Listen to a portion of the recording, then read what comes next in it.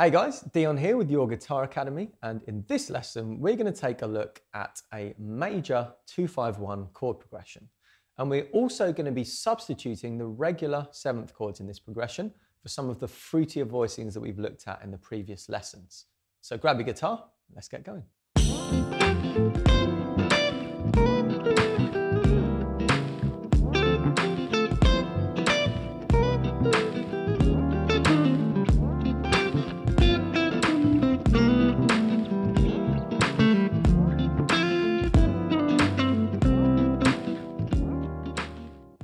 You've just joined us, don't forget you can head straight to the website to get all the additional course materials, including tabs, chord boxes, backing tracks, all entirely free.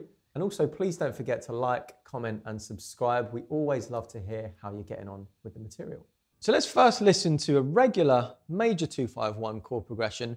Then I want to talk a little bit about what it actually is, and then we're going to substitute some of the chords for these more interesting extended voicings. So Let's pick a key. I'm going to go with D major just because it's nice and in the middle of the neck here and it's easy to see and visualize everything. So it sounds something like this.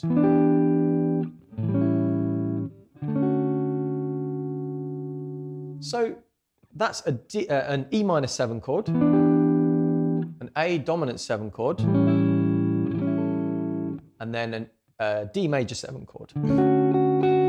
So the reason it's called a 251 is because diatonically within this key of D major,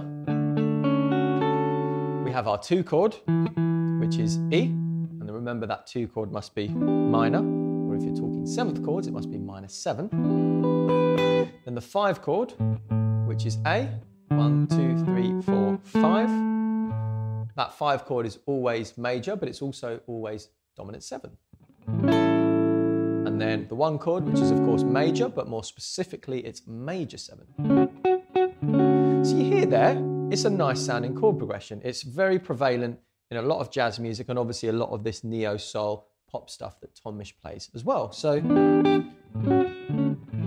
there's many different ways that you can play it and you can substitute many different chords in. But overall, you hear how the sound is a sound of kind of being taken on this journey back towards this tonic.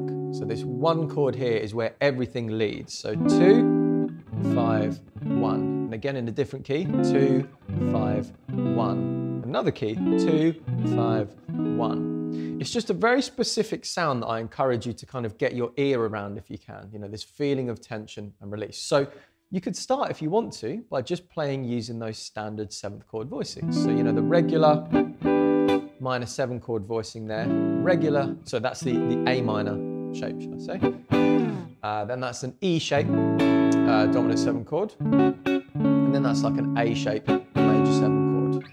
Um, and just as I say, get your head around it, get, your, get it into your ears and see what it sounds like. So for instance, I could just, if I wanted to, just use a drum beat to kind of, you know, listen to what it sounds like with some rhythm.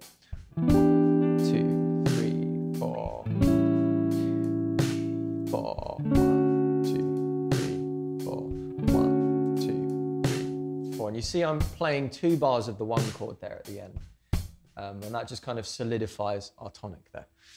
All right, so let's make this a bit spicier. So let's substitute one of these chords. We're going to end up substituting all three, but I want to do them one at a time. Let's substitute one of these chords for one of these previous fruity chords that we looked at. So let's go for the first one. Let's take that E minor 7 chord and let's turn it into an E minor 9.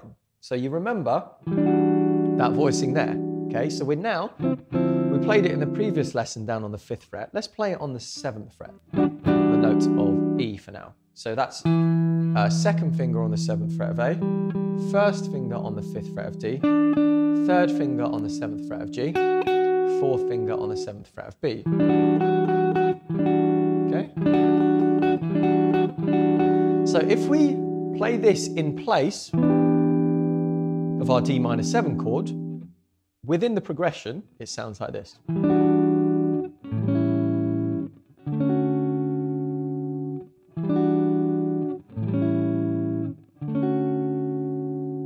Okay, the reason I love this is because you hear the top note, that 9 of that E minor 9 chord is the same the top note, which is the third of our D major 7 chord. So it's a nice bit of voice leading there. It sounds really lovely. So,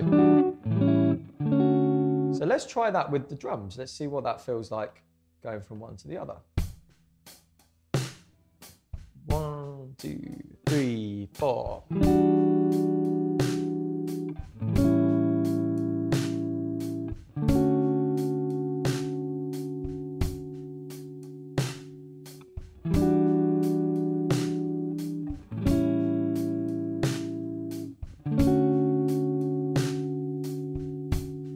One more time.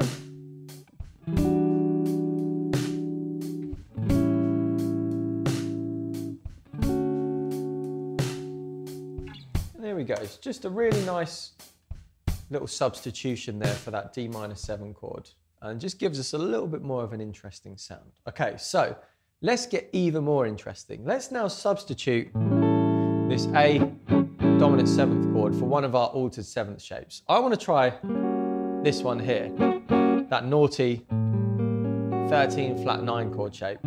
Okay, the reason why I love this, okay, is because if you hear the note on top there, that F sharp, which is that 13, okay, in this A7, sorry, A13 flat 9 chord, is the same as the top note on that E minor 9 chord and the same as the top note on that D major 7 chord. So what that would sound like, it's a bit of a finger twister this one to move, but it's worth it. There we go. Yeah, that's a lovely sound. Two, three, four. Two, three, four. One, two, three, four. What I will say is in this key, if you find that a little bit hard to get the thumb over there for now, because it's A, you can play an open A if you want to get you used to that so you don't have to uh, sorry, bring your uh, third finger down there, a bit less of a stretch. Obviously, if you change key, you've got to get used to bringing that third finger with you. So uh, it's just a little compromise for now if you're finding that stretch a little bit tricky. Um, let's hear that in context. We stick this on, and one, two, three, four.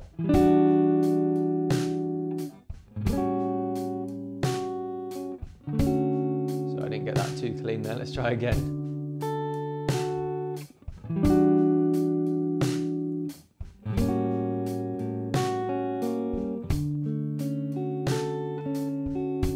One more time. I'll try it with the open A, see what it sounds like. Yeah, it's lovely. Let's do one more for luck.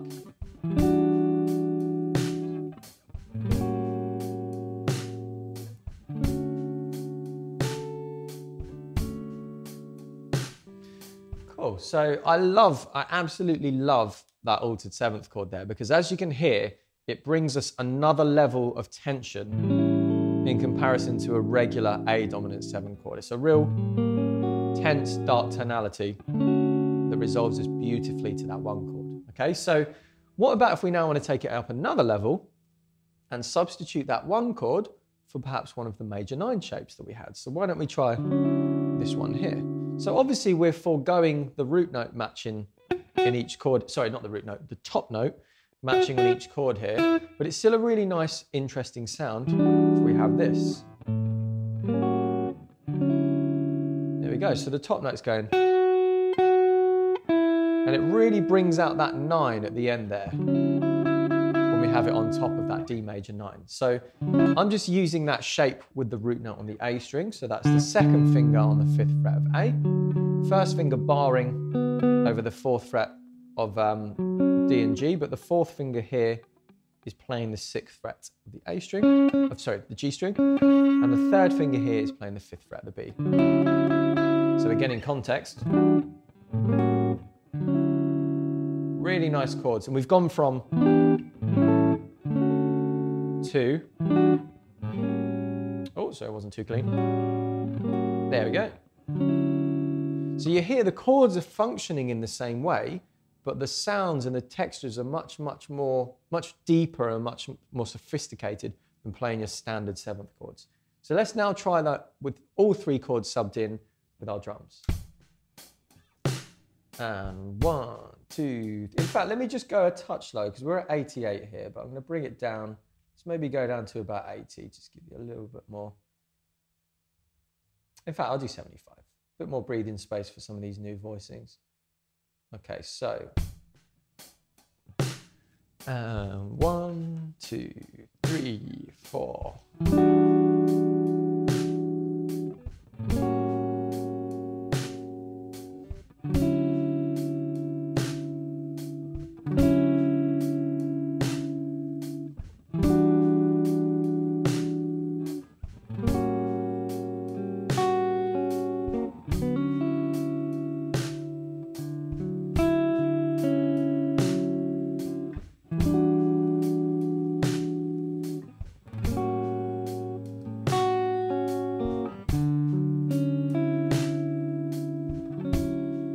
Last time.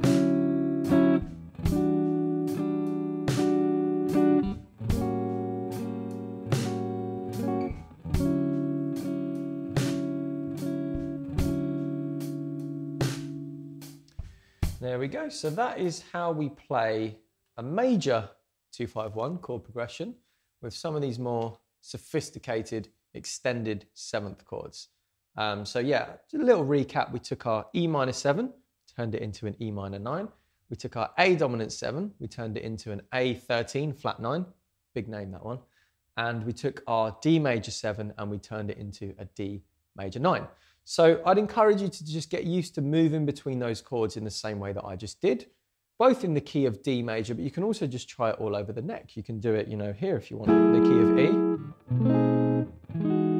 You can do it wherever. Obviously, this, this voicing here can kind of be a bit of a stretch at certain points in the neck, but I'd encourage you to just get used to messing around with it and playing with it and see what, what it feels like to uh, get under your fingers. So have fun with that, and I'll see you in the next lesson. Thanks a lot for joining us, guys. So if you want to head back to the start of the course, you can click here. And if you want to move on to the next video, you can click here. Also, please don't forget to like, subscribe, and comment because we always love to hear how you've got on with the course.